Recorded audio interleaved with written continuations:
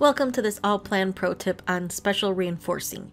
In this brief video, we're going to look at how we can model a tricky detail using both the convert match elements command and the basic bar shape command. This is the detail that we'll be recreating, and the horizontal portion is straightforward, but the angled pier has some complexity to it with sloped and differing length bars. Okay, so let's take a look at how to tackle this in Allplan. And note, this is not the only way to go about reinforcing this detail. This is just one way to do it, and I'm going to do it this way so that we can take a look at several different tools within Allplan. So first, in order to create those longitudinal bars along that slope, I'm going to first draw them as 2D lines. And so first, what I'm going to do is I'm going to create a view of this section because the easiest way to get 2D lines of a 3D object is to quickly create a view and then we can right click on our view. We can go to convert view to 2D. Now I can click on a corner of my object and then just place it right on the actual object. And now I have 2D lines that I can work with. And first I'm going to just combine these into one polyline just by clicking on one of the lines.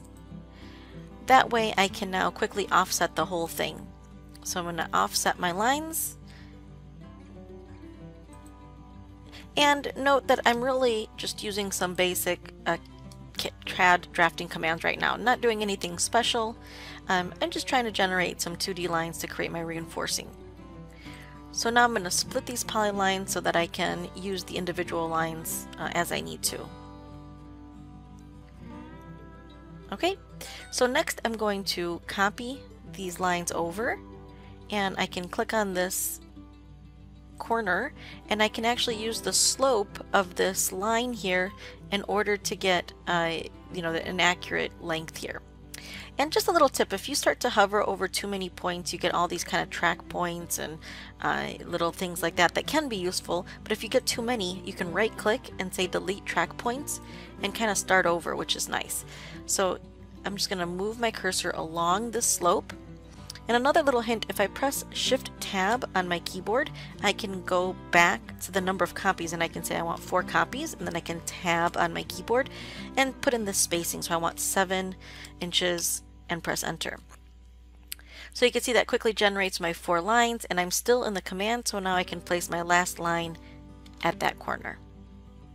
So now I want to extend these lines down and so I'm going to use the trim lines to element command and the reason why I'm doing these in 2D first is really because this is not a command you can use with 3D lines. You have to use this on 2D lines. So I'm going to right click to activate the multi-select command. And I'm just going to select all of these lines, right click to confirm, and then select where I want these to extend to. And I'll do the same for this last line here uh, to trim it back. So now that I have my lines, I'm going to use the Objects palette to hide my 3D shape. That makes it easier for me to just quickly delete some of these extra lines now. So remember to use the object palette. It's a great way for you to work with different things in the model, turn them on and off, different visibilities to make it easier to do what you need to do.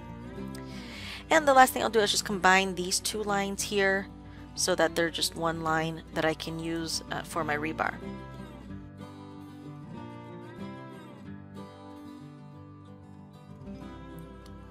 Okay, so now that I have my 2D lines, I need to convert these to 3D lines so that I can then put them in place to act as my reinforcing. So I'm going to use the convert elements command and I'm going to convert these 2D lines to 3D lines. And I'm just going to select the whole thing by drawing a window. And now I can see them in my 3D view so I know that they're 3D lines. So now I'm going to move these into place, so I'm just going to use the move command and I'm going to select them here in plan view. But notice even within a command, I can select them in plan, but now I can move over to my uh, elevation view and then I can use this view to move them into place. So you can use the different views depending on what you're doing and what makes the most sense. So I'm just going to move these up and then I'm going to just mirror them over to the other side use the copy and mirror command. And remember, you can use keyboard shortcuts as well. I'm not using those in the video just so that you can see the commands that I'm clicking on in the ribbon, um, but definitely normally I use keyboard shortcuts. So now I'm going to just copy, and again I'm going to do the right click to multi-select and click on these two lines here and then I'm going to use my elevation view again and I'm just going to copy these down. So I want two of those spaced at 7 inches and it quickly generates those for me.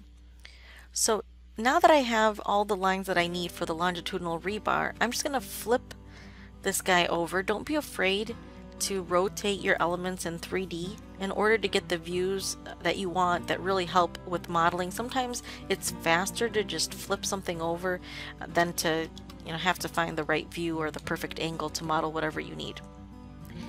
So now I'm going to go ahead and create another view. You do need to have a view to perform this next command.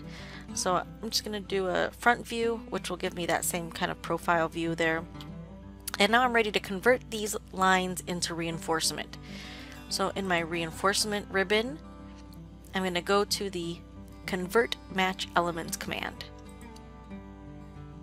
And here I need first need to select the bars that I want to convert and you can select all of them at once. So I'm just going to draw a window around the whole thing. And here in the properties you can change information like your uh, size, um, different lengths, etc. But I'm just going to keep all the defaults and say OK. And now I need to select my view. It does prompt me to add a label, but I'm going to escape. I don't want to add a label at this time, so I'm just going to escape.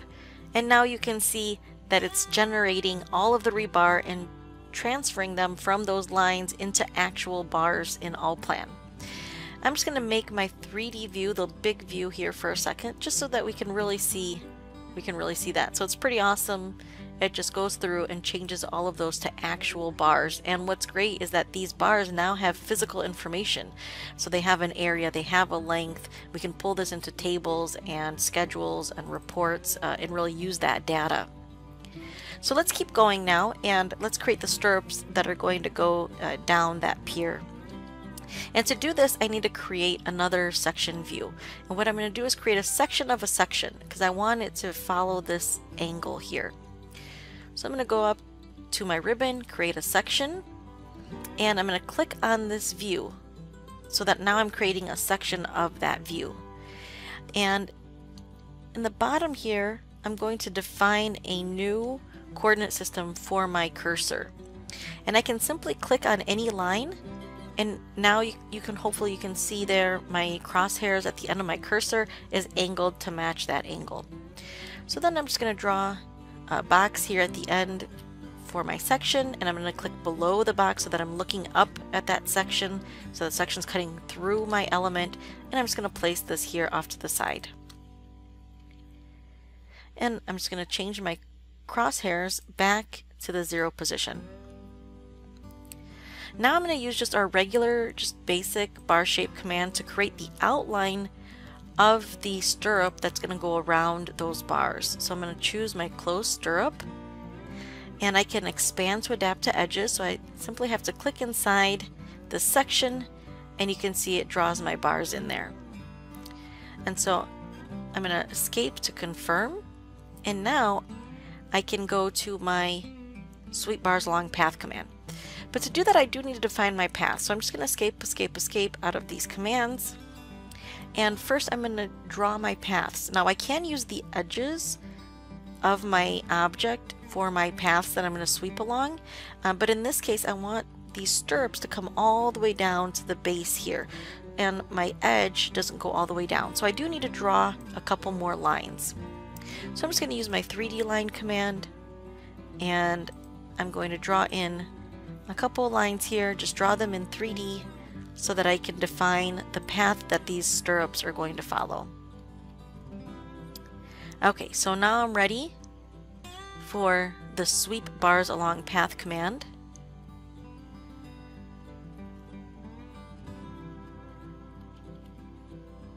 Oh, looks like I accidentally deleted um, my object there, so let me just put that one back in. So I've got my closed stirrup. I'm going to click inside my shape. There we go.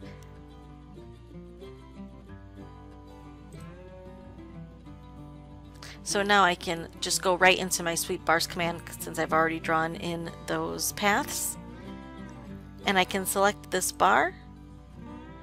And now I need to select the paths. So right here in my uh, 3D view, I'm going to click on the edges of the object here. And you can rotate this uh, in order to make it easier to select those edges.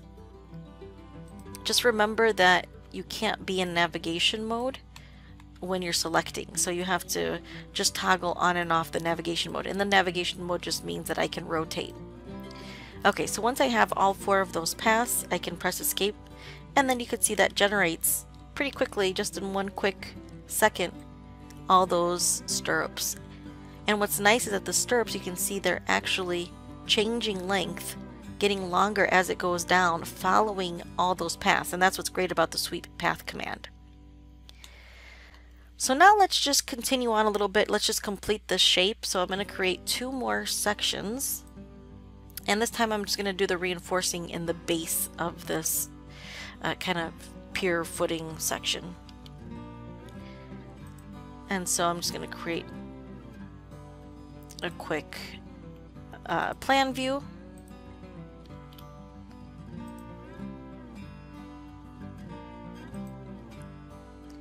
and then I'll do a section through that base, through that footing portion.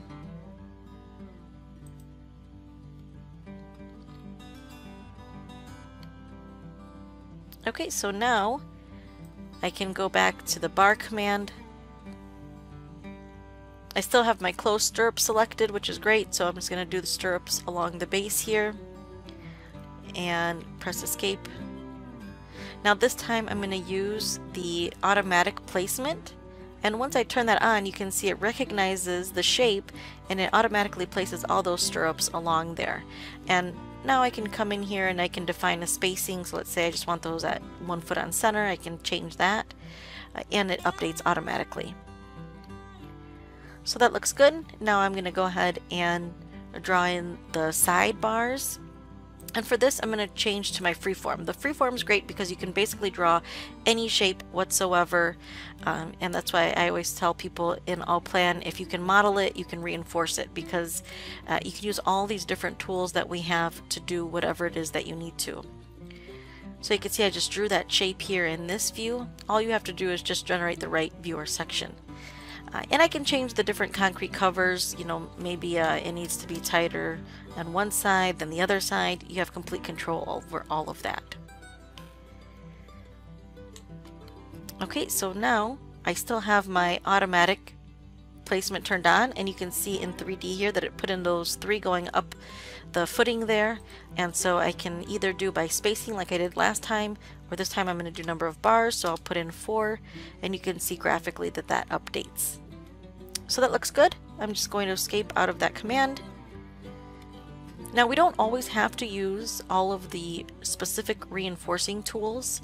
Um, so one thing that I can do is actually just use the mirror and copy command. And I can just copy these uh, sidebars over uh, to the other side. So I'm just going to mirror and copy those. And now you can see I'm kind of forming like a cage here in the bottom. Okay, so we'll just do one more to complete this element. So I'm going to use my uh, bar shape command again. And this time I'm just going to choose a straight bar. And I can turn on my ex expand to adapt to edges.